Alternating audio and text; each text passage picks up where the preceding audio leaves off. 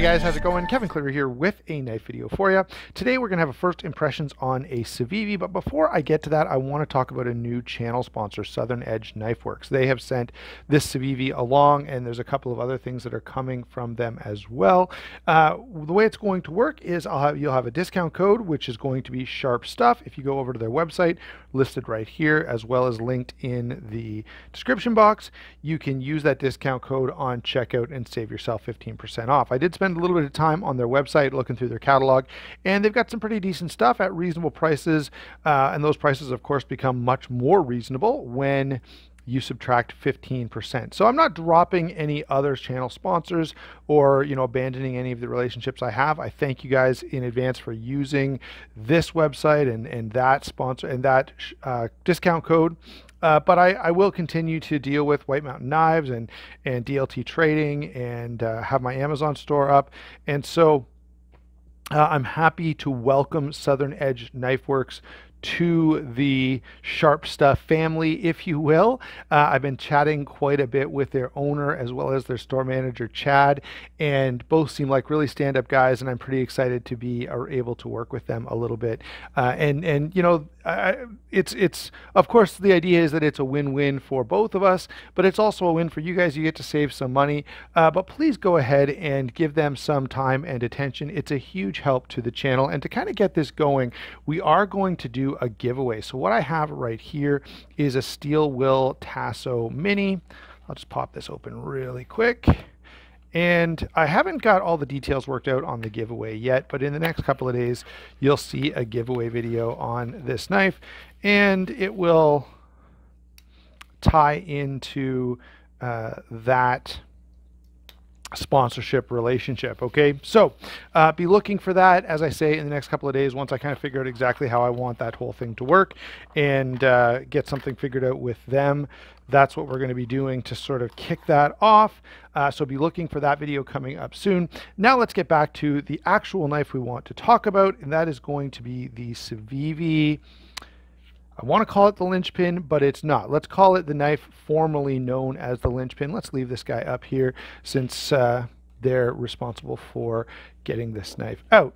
All right, so we've got typical Civivi stuff here, uh, pouch, stickers, microfiber cloth, paperwork, all that stuff we're used to seeing. I'm not going to spend a lot of time on that, but I will spend a little bit of time on this. This is interesting for a couple of reasons. First of all, you don't often see Civivis quite this size, and it's also using a different G10 pattern. Now, otherwise, okay, this is fairly typical Civivi stuff. We've got D2 steel up front for the blade here, liner lock on bearings, really, really, really nice action.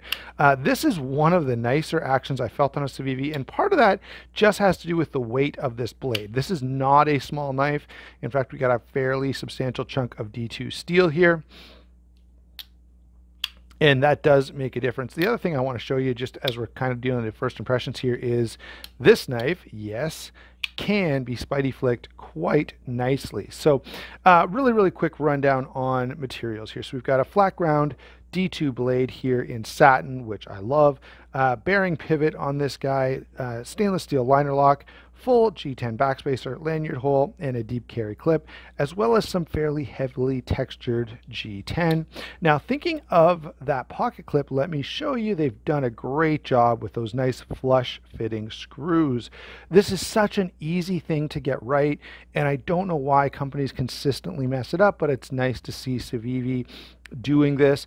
I think I may have complained about this on a couple of Civivis before, and probably others have. So uh, maybe I could be totally wrong. Maybe I'm making the whole thing up, but I think I've seen that before. Now, I do want to mention one other departure here, and we've kind of already hit on this, but this is a big knife, guys. Most of the Civivis that we've been kind of seeing have been a little bit smaller. Um, the, the, the initial offerings that they had, the Backlash and the Praxis and a few others, were were fairly large, eight and a half inches or something like that. But this guy is a full nine inches, and I don't think I could be wrong. Uh, and you can correct me down in the comments if you've got a if you've got uh, an example. Feel free, but I don't think they've had a nine inch knife before. So this guy is nine inches overall, three and 15 sixteenths on the blade length. So just a hair under four inches, five and three sixteenths on the handle length. All right, in terms of grip area, we're dealing with four and one eighth inches, a ton of grip area here. Uh, you would have to be an awfully big guy. I don't know what's on my finger there. I had a fire curl earlier today, so it's probably some gunk from that. Anyway, uh, very, very large handle, uh, lots and lots of real estate there, plus a very generous finger choil. Uh, and I like what I like about the way they've done this finger choil is they've given me a nice place to put my thumb here when I do choke up on the knife.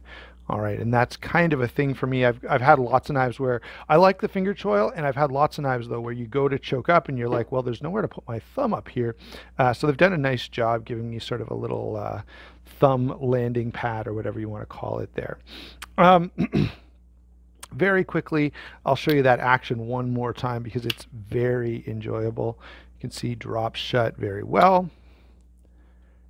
And Spidey Flick is really, really satisfying.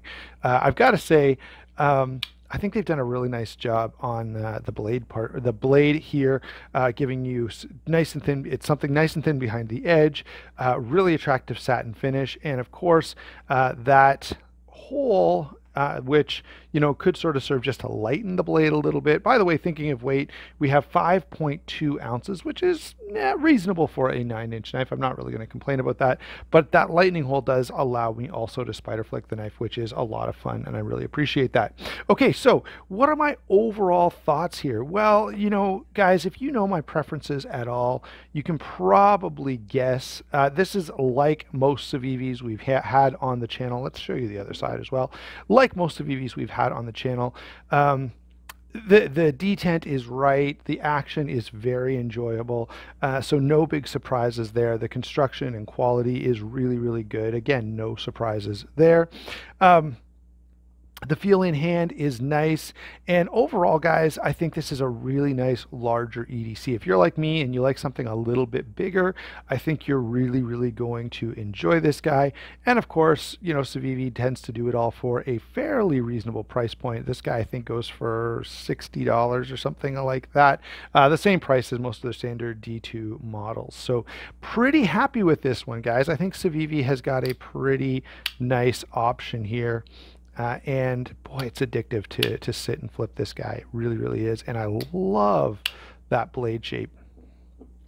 So that's my overall thoughts here. Yeah, it's a little big for some people, but if you like a larger knife the way I do, uh, then I think you're probably really going to appreciate the Vexer. This used to be, by the way, known as the Lynchpin. Uh, I don't even, I think I just called it the formerly known as the Lynchpin and forgot to tell you totally about the real name now, which is the Vexer, but that'll be in the title screen anyway, so it'll be hard to mess that one up. All right, thanks for watching. Don't forget to like and subscribe, and of course, don't forget to check out Southern Edge Knife Works. I will put a link in the description.